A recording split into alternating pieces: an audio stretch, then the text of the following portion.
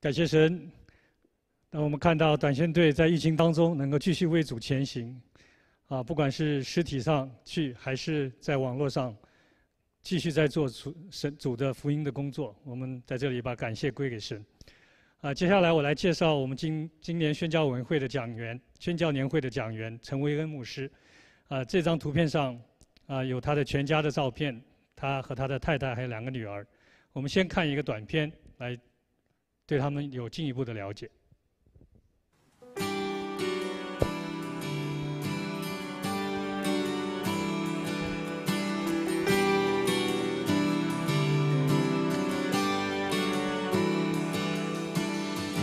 Love unfailing, overtaking my heart. You take me in, find. Peace again. Fear is lost, and know you are.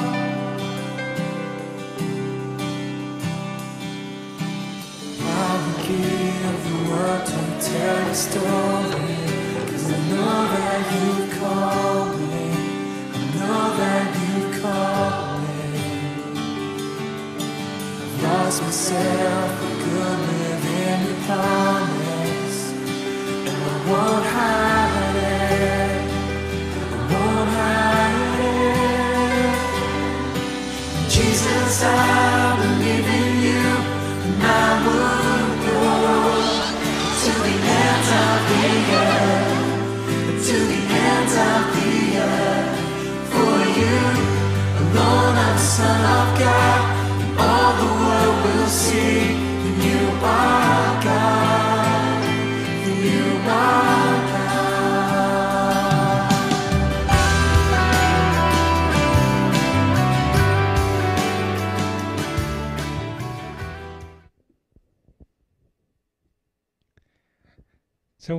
陈维恩牧师和他的妻子陈瑞慈传道，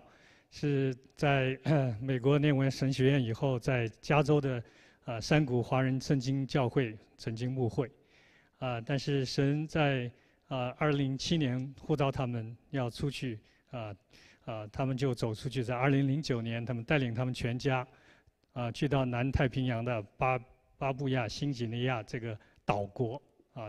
这个原住民的地方。去传福音，啊，在这个部落里面，他们从学语言开始，然后翻译翻译圣经，然后建立这个教会。我们看到这个 B.M 这个族人在二零一二年第一次啊有听见福音，神也在你那里建立了教会。陈牧师现在在台湾啊，这个 Radius International 啊服饰是亚洲的总干事。他这个 Radius Asia 是一个专门训练这个呃。跨文化宣教士的机构啊，专门是训训练宣教士的机构啊，他们在那里非常有美好的复试啊。下面我们就啊，请童工来放今天第一场的信息，让每个海岛都来赞美他的名。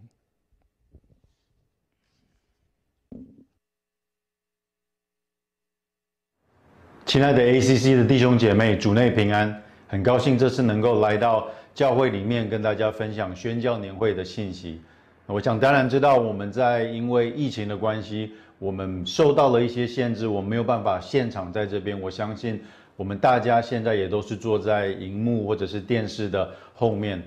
啊！但是我的祷告是我们这个周末不会因为这个模式或者是一些距离的关系而让我们的敬拜有任何的限制，也同时的我们能够一起来到神的面前来领受他要给我们的信息。我小时候是在一个基督教家家庭长大，那我小的时候去教会的时候，每一次一听到有宣教士的讲员过来，我就非常的高兴。一当我听到有宣教士是主日的讲员的时候，我的眼睛就会亮起来。那这个不是因为我小时候对宣教有特别的负担，或者是我从小就被神呼召要成为宣教士，完全不是的。我小时候，嗯，完全跟宣教都没有关系。我认为宣教士是那些在教会里面，在基督徒的生命里面被神抓去做最困难的事情。我我一点都不要想要。一点都不想要成为他们，但是为什么小的时候我碰到宣教师，我就会非常高兴呢？啊，因为我知道当宣教师一过来，他就会在台上面讲故事。那谁不喜欢听啊？听故事？我知道宣教师来讲故事的时候，我就不用去听我牧师每个星期天照着圣经解经方式的讲道。我知道宣教师来讲了故事，我就坐在那边，我好好的享受他讲到一些远方感人的故事，我的心里面会有温暖的感觉。那之后我至少没有睡着，那我就可以回家。反正要我听到一些美丽的见证，但是跟我的生命其实并没有太多太多的关系。啊，我希望这个周末不会是这样子。我虽然还是会分享一些从工厂来的见证，跟神在未得之名里面做的事情，但是我希望我们这个主日最重要的还是要回到神的话语里面，清楚的来听他。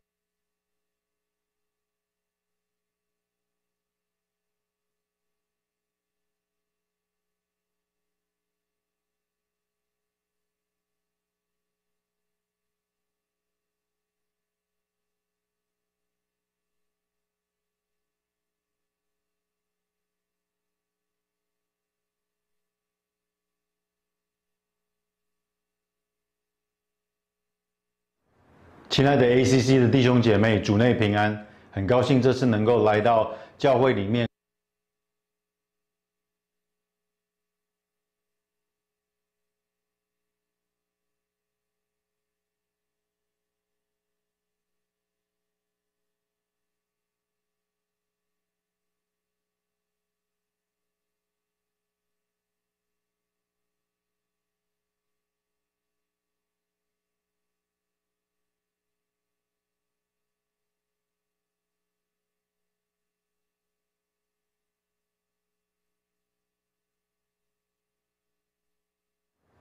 亲爱的 ACC 的弟兄姐妹，主内平安，很高兴这次能够来到教会里面跟大家分享宣教年会的信息。我想当然知道我们在因为疫海的中间，我们看不到海岸，就只有地平线。那你问我在宣教工厂上面，呃，其上的居民都当向耶和华唱新歌。从地面的时候，我的眼睛就会亮起来。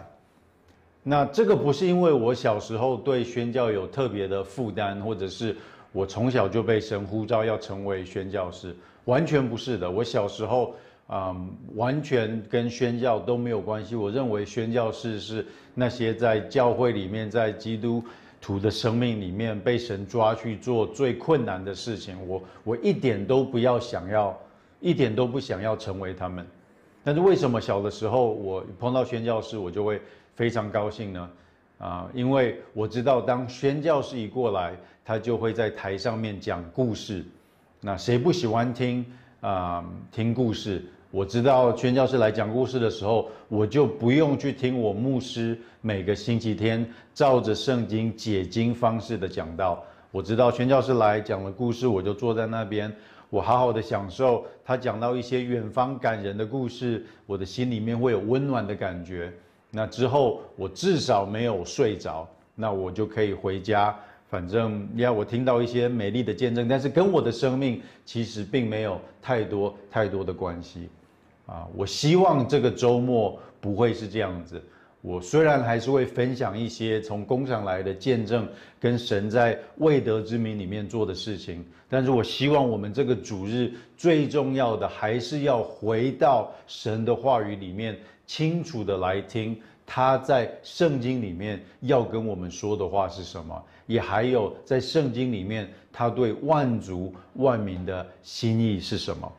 以赛亚书四十二章十到十二节，航海的跟海中所有的海岛和其上的居民都当向耶和华唱新歌，从地极赞美他，旷野和其中的城邑，并基达人所居住的村庄都当扬声，希拉的居民当欢呼，在山顶上的呐喊。他们将荣耀归给耶和华，在海岛中传扬他的颂赞。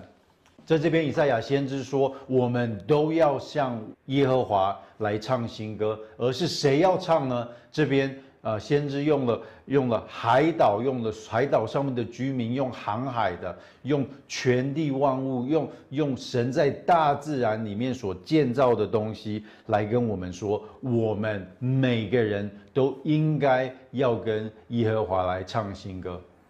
而在以以赛亚书二十四章同样的一节，这边说，这些人要高声欢呼，他们为耶和华的尊严从海那里扬起声来。因此，你们要在东方荣耀神，在众海岛荣耀耶和华以色列神的名。这一样的，先知以赛亚再次的用这些创造物、这些大自然里面的景象来形容，我们应该要敬拜神，我们应该要把所有的荣耀都归给他。而他这边特别是用了海岛。用的海，刚刚是刚刚在啊上面四十二章是用到啊种海岛跟上面的居民，啊我们的家庭在宣教工厂上面是在南太平洋的巴布亚纽几内亚。那等一下我会再分享一些的细节，但是我们到那边啊，我们搬进去的一个未得之民，开始跟他们学语言，开始目的就是要在那边。啊，传递福音，建立教会，而我们的这个族群刚好住在一个海岛上面，而这个海岛又离本土很远，有差不多嗯八十英里远，所以我们每次进进出出，我们每次进进出出都要坐这样子的小船啊进来。那在海的中间，因为是八十英里，其实是很远很远的，有一大部分的时间啊，我们是一个小船。啊，但是是在海的中间，我们看不到海岸，就只有地平线。那你问我在宣教工厂上面，我因为要要进出这个宣教工厂，我过去的十年花在海上面已经有几千几千个英里了，好多好多的时间都花在岛上面。你问我，当我们在圣经里面看到这些海洋一起来赞美神的时候，我的我对海的记忆其实是。危险的一个东西，是危险的一个东西，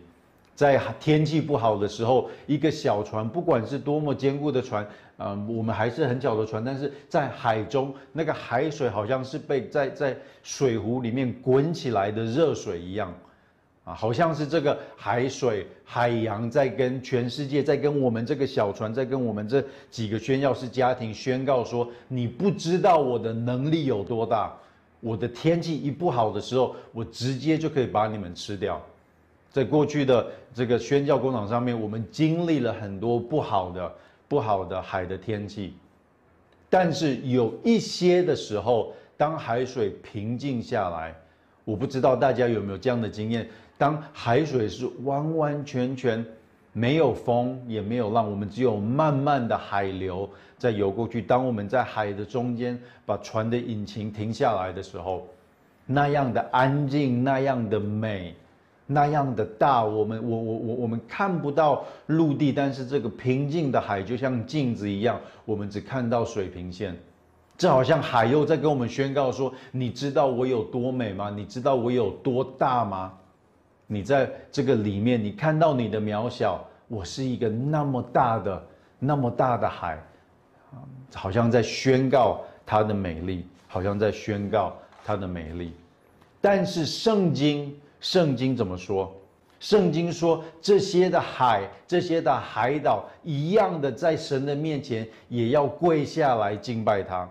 这就是为什么以赛亚或者是神在在在在这几个章节里面特别了用这些海洋上面的景象来形容，就算是海岛，就算是海洋，也一样在神的面前需要来敬拜他，因为我们神的荣耀是那么的大，是那么的大。海水真的是一个没有办法控制的，当天气不好的时候没有办法控制的野兽吗？不是的，因为在神的面前，神说：“我一个手指一碰，这个海水就要安静下来。”而在海最美的时候，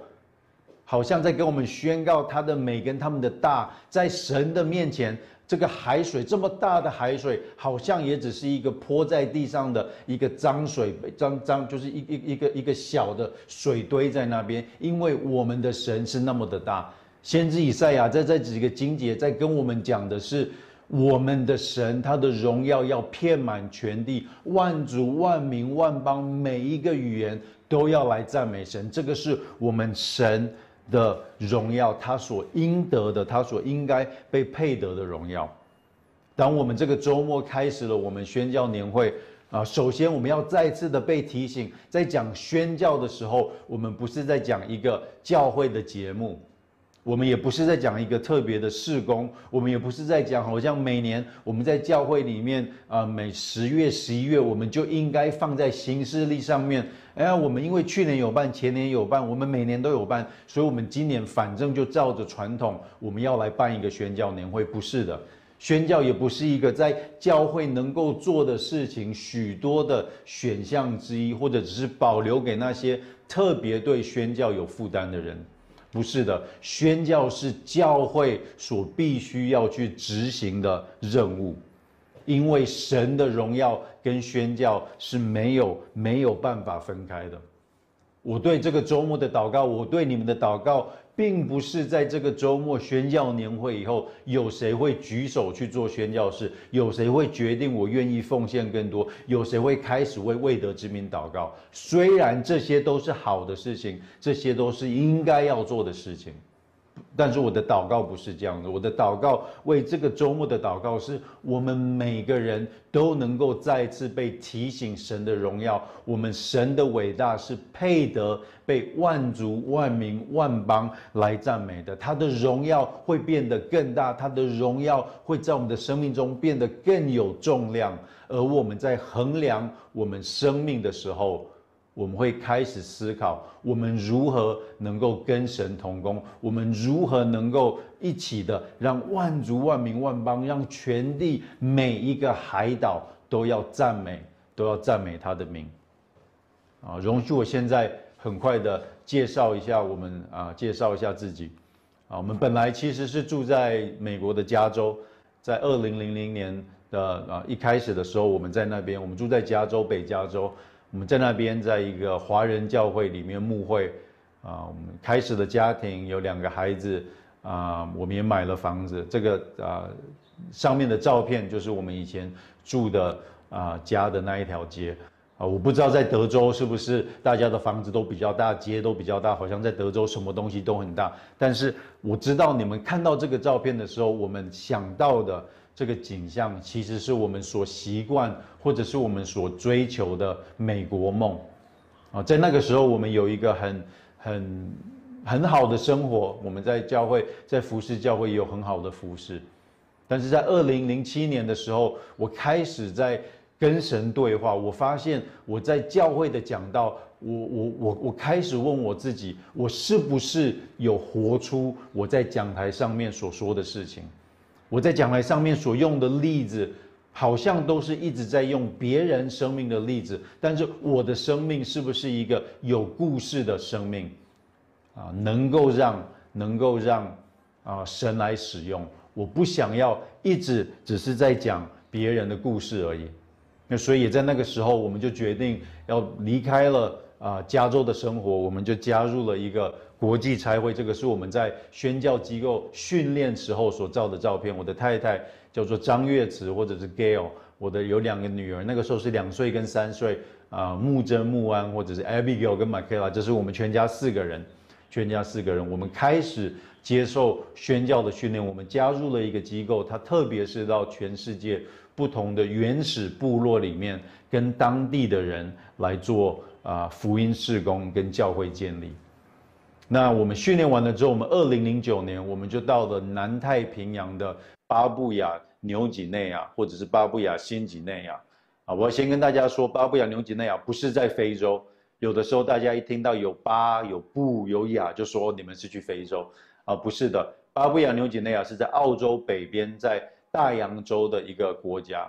巴布亚纽几内亚有一个很特别的地方，他们的人口只有八百万人而已。但是有八百多个语言，八百多个语言学家去鉴定完完全全不同的语言，所以有八百万人，有八百多个不同的语言。如果我们要做比较的话，你们住在德州，德州有两千九百万人，两千九百万人，但是只有一种语言，或者是我们可以说英文跟西班牙文只有两种语言。所以你可以想象，有两千九百万人有两个语言，在另外一边有八百万人，但是有八百多个语言，而这每一个语言所代表的就是一个独特、独立的族群、文化、人口，有自己的语言，有自己独特的文化背景。而现在还有两百多个不同的语言族群，到现在还没有机会听到福音，在他们的语言里面，耶稣的名字没有被了解，没有圣经。那在二零零九年的时候，我们全家跟其他两个家庭，我们的团队就搬到了照片上面，照片上面你们看的这个海岛。那这个海岛上面有住着一批啊、BM 人啊，我们部落的人的名字叫做部落的名字叫做 BM，你把英文的 B 跟 M 念在一起，BM 人啊，我们部落的人只有三千个人。我的意思是说，全世界除了这三千个人之外，没有人留着他们的血裔，没有人有他们的语言。我们是他们历史中第一批从外面搬进去跟他们啊跟他们住的人。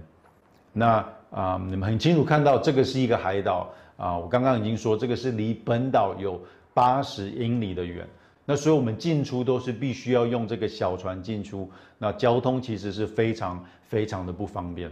啊。但是我们搬进去之后，我们开始跟他们一起生活。我们盖完了房子之后，我们让他们进来我们的房子，看到我们的房子，这是我们花了六个月才从美国运过去一个简单的、简单的一个床套。那他们一摸就本本来是白的，之后就不是白的，但是没有关系，我们在那边，我们就是要活在他们的生命里面。那在部落里面，我们必须要自己盖房子，我们接的是这边接的是太阳能，我们用的是雨水。我们开始学习他们没他们的语言，这个语言在全世界没有人学过，所以没有课本，没有学校，我们必须一点一点的开始学。我们跟他们一起生活，他们怎么生活，我们就怎么生活；他们怎么样，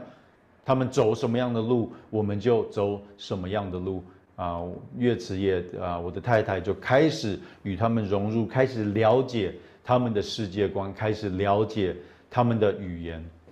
我们花了差不多三年的时间，才把他们的语言学到精通。所以从二零零九年，我们一直搬进去，我们开始建立关系。到了二零一二年的时候，我们终于有足够的语言能力，把福音能够把福音清楚的传递给他们。我这边有一个短短五分钟的短片啊，这个是我想还是用短片的方式，比较能够很快的呈现一开始神在那边所做的事情。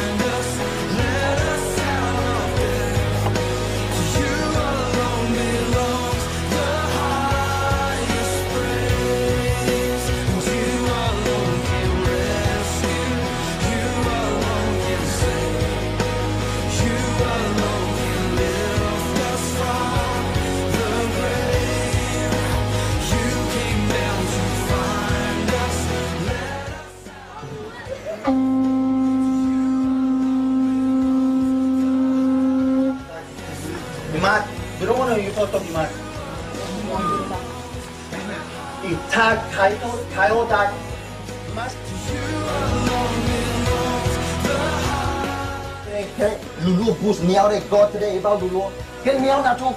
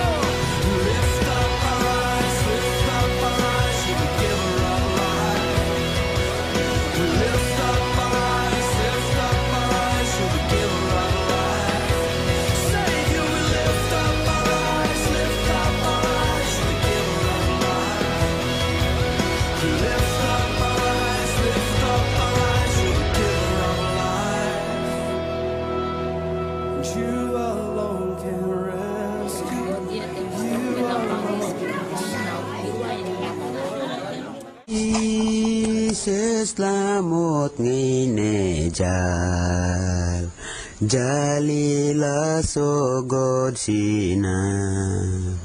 Kabajal ramaram tag Jesus lamut ngine jalila ila ila sina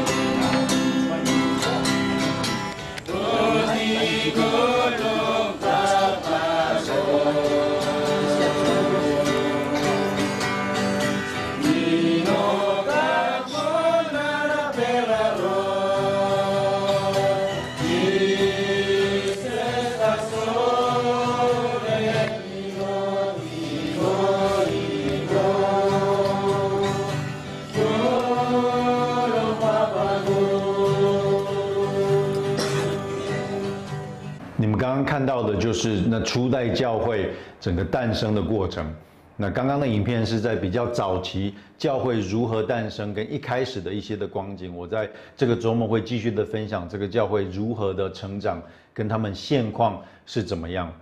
啊，现在在 PPT 上面你们看到照片，就是我们一开始聚会的过程。在二零一二年的九月那个暑假，我们当我们从创世纪一直教到耶稣受难复活的时候，有差不多二十个当地的人，他们很清楚的了解耶稣基督所成就在十字架上，在空坟墓里面所成就的是他们唯一能够与神和好的和好的方式，那他们就成为了那第一代的基督徒。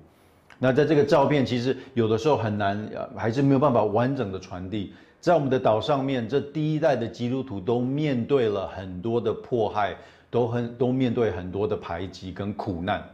在岛上面有一些人是很公开的反对这些基督徒，那所以在一开始，甚至一直到今天，都还有这个情形，就是任何在这个岛上面要成为基督徒、要跟随耶稣的人，他的生命都需要付上一些代价。你们在照片上面这边看到早期的这些的基督徒，他们很多都被笑，很很多都被排挤，甚至有些被打，甚至他们的孩子会被其他的孩子啊、孩子欺负。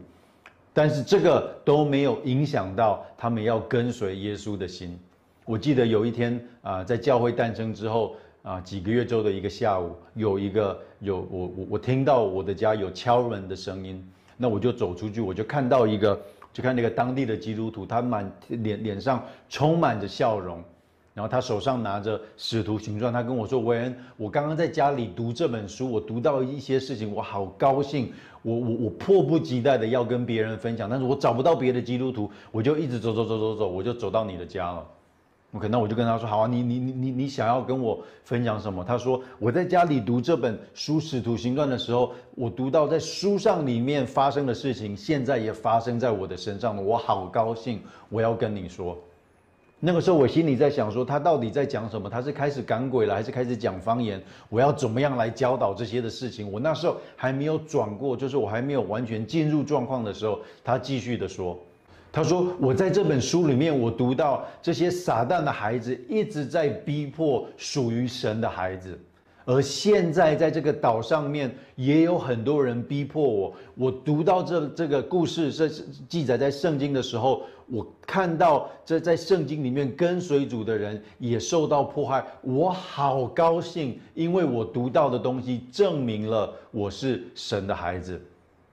我就是要跟你分享这个，好了，完了，结束，那我要走了，他就走了。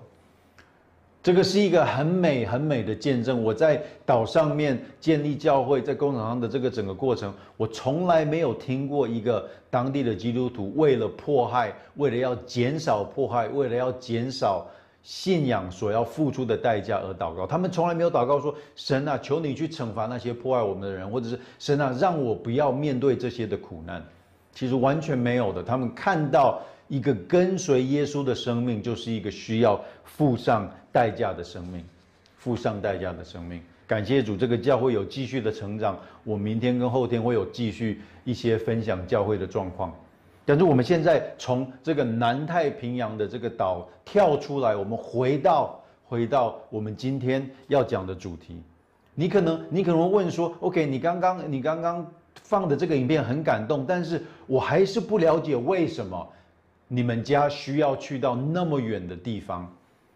很多人会认为说，唯一的解释，唯一的解释就是就是就是陈牧师，你一定有一个很特别的呼召，你一定神有给你一个很特别的感动。我要很直接的说，我从来没有梦到一个意象，我从来没有梦到一个形状，然后我最后去查，结果发现那是巴布亚纽几内亚的地图，啊，我我从来没有一个好像是很神机骑士般的呼召，啊，那你可能也会问说，OK，那那那那你去，那那我当然很感动，那边有教会这样的诞生，但是你们去的地方看起来好像不是特别的安全呢？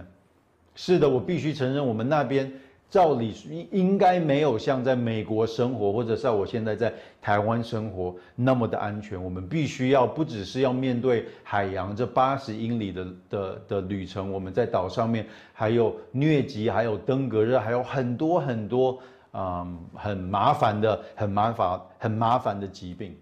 但是到了最后，我们要问的是：OK，为什么我们家区，或者是一个更大的问题，为什么有人要成为宣教士？宣教士背后的动机是什么？宣教士背后的动机是什么？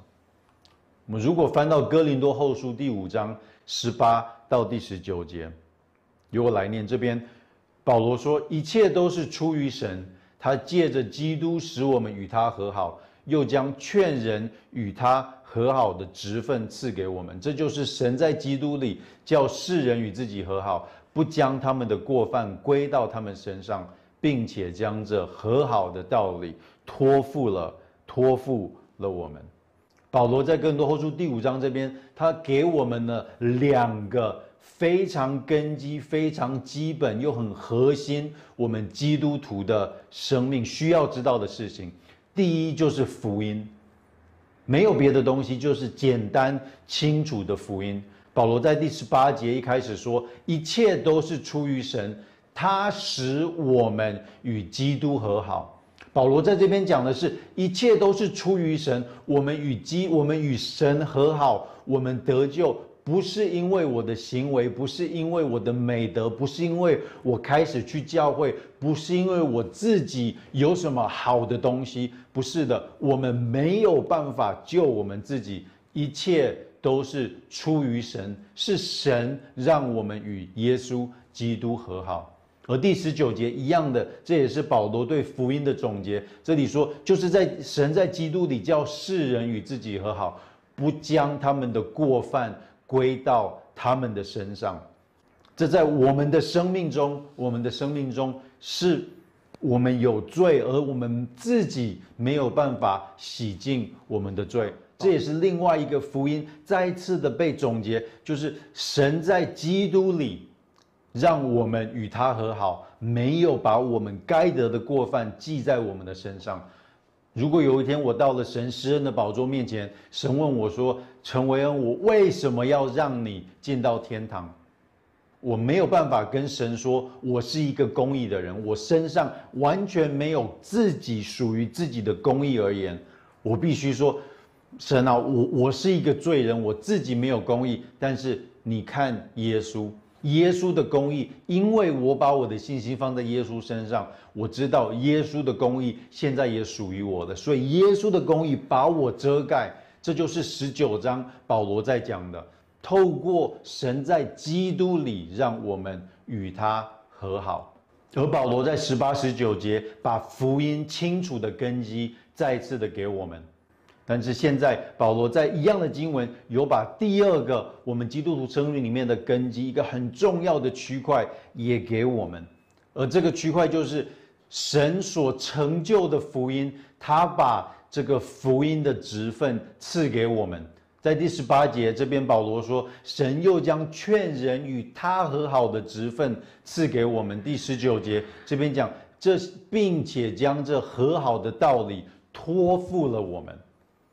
这个是有职分的，这个不是一个好像好像随意给的，你有时间就去做一下，或者是你有感动就去做一下。当职分这个字眼被使用的时候，有职分就会有问责，就会有一天我们必须为我们这个所分配到的工作、所分配到的责任，我们必须要回答，我们必须要回答。这个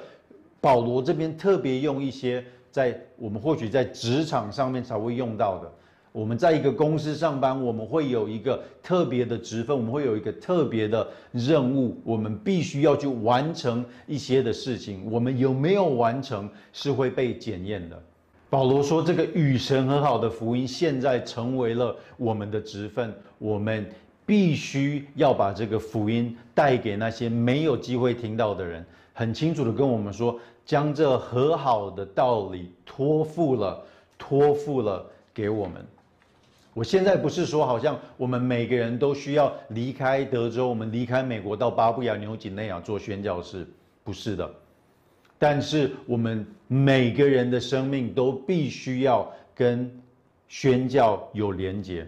当我说宣教的时候，我不是说留在德州跟你的同学、跟你的邻居、跟你的同事传福音，不是的。这个传福音同文化，我们跟我们身旁的人传福音，这个就是我们本来应该要做的事情。当我在讲宣教的时候，我是在指我们必须要离开，有一些人，我们中间必须要离开，我们要把福音带到那些，如果我们不去的话，他们就没有机会听到福音的族群。在路加福音二十四章四十六到四十八节，这是复活之后的耶稣所命令的。耶稣又对他们说：“照经上所写的，基督必受害，第三日从死里复活，并且人要奉他的名传悔改赦罪的道，从耶路撒冷起，直传到万邦。你们就是这些事的见证，你们就是这些事的见证。”很多人在讲宣教的时候。我们会认为第一步就是神有没有呼召你，神有没有呼召你？但是耶稣在路加福音最后很清楚的命令：我在十字架上所成就的事情，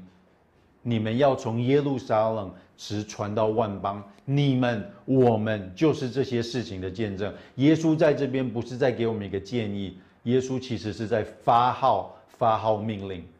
但是很多时候，宣教的第一步，我们都会觉得说，我们要等呼召。如果神没有呼召我们的话，那我们应该要去做别的事情。但是容许我说，宣教的第一步，并不是要确认呼召。宣教的第一步，不是要确认呼召，因为如果是的话，好像我们一群人就直接继续的过我们的生活，只有那些特别被神呼召出去的人，他们才需要去做宣教。其实不是的，宣教的第一步是一个简单的顺服，而不是一个感动或者是呼召。当我晚上要我的孩子去丢垃圾的时候，我不需要我的孩子有一个呼召，我不需要我一个孩子有特别的感动，我更不需要我孩子对丢垃圾有一个特别的热情。如果有的话，我反而会开始担心他们。我不需要他们有热情，我要的是什么？我要我的孩子在那个时候，简单的就是一个基本的对父亲的顺服跟信靠。当爸爸说，请你们去做这个，我要的只是一个基本的顺服跟对父亲的信靠。而我会说，在宣教的第一步，在呼召之前，我们必须，我们跟神求的是，神啊，求你让我对你的话语有信靠，求你让我在我的生命中有一颗愿意服从的心，因为在保罗的。啊，在哥林多后书第五章，在刚刚路加福音读的宣教不是一个建议，是一个很清楚的、很清楚的命令。很多的时候，有人会跟我说：“哎，维恩牧师啊，我看到你的影片，我很感动。你看起来就是一个很有活力的人，你看起来就是一个好像很在在很很喜欢在户外生活，就是你你好像很愿意去冒险。”那就就是因为这样子，神就特别使用你的个性，让你去巴布亚纽几内亚这个地方宣教。我很诚实要跟大家说，我不是一个喜欢去露营的人，啊，我不会想要盖自己的房子，我连 IKEA 里面买的家具我都我都不想要装了。我们去宣教的原因，不是因为好像我的个性是怎么样，这个跟我的个性一点关系都没有。我们去宣教唯一的原因。就是神在圣经里面已经清楚的命令，而我们的生命要有的就是一个简单跟基本的服从，简单跟基本的服从。当我要去巴布亚纽几内亚的时候，在二零零七年，有一个朋友写了一封信给我，这个这封信很短，它短短的，他只有写：韦恩，我好羡慕你，你有勇气去追求你的梦想，你有勇气去追求你的梦想。你知道我的梦想是什么吗？我的梦想不是要住在一个荒野的地方，接雨水，用太阳能，靠着卡车的电池在那边过日子。我的梦想跟你的梦想一样，能够住在美国一个干干净净的的的的街道上面。我开个灯，我开个水，就会有电，就会有水流流出来。我的梦想对我的孩子，不是他们要在一个啊这个岛上面长大。没有办法认识他们的祖父祖母、爷爷奶奶或他们的亲戚朋友。我的梦想对我的孩子跟你们对你们孩子的梦想一模一样，孩子能够学一些钢琴、跆拳道一些技能，能够有一个健康完整的教会生活，在圣诞节的时候可以来演圣诞剧。他没有办法演到玛利亚，他也至少可以演个演个小羊，就是有一个正常的教会生活。我的梦想不是要住在一个有疟疾、有就是没有医疗医疗资源的地方。我的梦想是，当我的太太生病，我能够把它放在全世界最好的医院的旁边，让他能够接受完整的治疗。亲爱的弟兄姐妹，这些都是我的梦想。你们在那个影片上面看到的见证，这个不是我对我自己人生的计划，这也不是我自己的梦想。但是我要说，我们的梦想算什么？你的梦想算什么？在哥林多前书第六章，保罗这边很清楚的跟我们讲：我们不是属于自己的，你们不是属于自己的，我们的生命都被神重价重价买回来。当我们自己对人生的计划，跟神对万族万民的计划抵触的时候，是谁要让步？是我们，我们要让步，因为我们的生命是神重价买回来的。当我们在以赛亚书，我们再回到一开始的经文，当我们在以赛亚书看到神的荣耀要在万族万民，要在全地被升起，被来赞美，万物都要来赞美这个创造天地万物的神。但是同时，在今天有很多不同的语言、不同的族群。在他们的文化语言里面没有赞美神的神的声声音，在他们的语言里面没有一节圣经被翻译。在这个周末，当我们一起聚集敬拜的时候，在全世界还有很多的地方，这个周末只会有城市的声音，没有敬拜主的声音。神已经把那与他和好的职分赐给我们，我们白白的得到这福音的信息。时间到了，我们应该要走出去，把这个福音带给那些没有机会听到的人。亲爱的弟兄姐妹，在这个周末最后，我不会有一个呼召，有谁愿意去非洲，然后星期一请教会把你送出去？不会的，不会的。但是如果这个周末你没有好好的在检验自己的生命，你最深处里面你是怎么样在经营你的生命的话，我会说你会浪费了这个周末。要开始问我们自己，我要邀请你开始问我们自己。我们的生命现在大大小小的决定有多少跟神在万族万民的荣耀有连结？我们在教会的资源、我们的祷告、我们所有的事工有多少是跟宣教？有多少是跟那些没有机会听到福音的人有连结？我们的生命从哪里开始？我们要如何走出这宣教的第一步？我想今天我讲了那么多，你只要能够记得这一个就好，就是我们的神，他的荣耀是大的，大到值得万族万民万邦每一个语言去赞美他。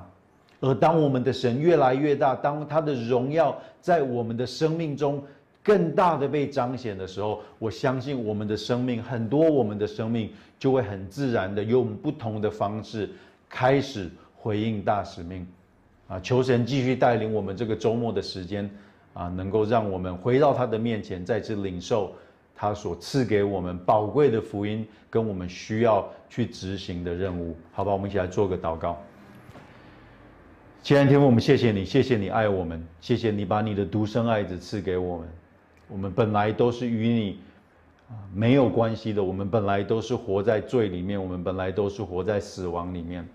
但是主啊，你透过主耶稣基督，让我们能够与你和好。主啊，这是一个何等宝贵的信息！而同时，谢谢你提醒我们，我们有把这个信息传递出去的责任。主啊，我要为孩子自己跟 ACC 这边所有的弟兄姐妹祷告。在我们的生命中，我们有太多其他的事情，我们有自己的梦想，我们有自己的计划，我们有自己想要做的事情。但是主啊，在我们的生命里面，你想要做的事情最重要，你想要成就的事情最重要。主啊，就让我们再次的了解你的荣耀，再次的让我们站在你的荣耀面前，我们俯伏下来敬拜你，我们把我们的生命献给你，求你使用。我们也把这个周末跟未来两天的啊信息，跟我们的交通，跟我们在家里自己啊与你相处的时间祷告，继续的。跟我们讲话，继续的带领我们，让我们的生命都能够与你同行。我们谢谢你，我们这样子祷告，乃是奉主耶稣基督圣名求，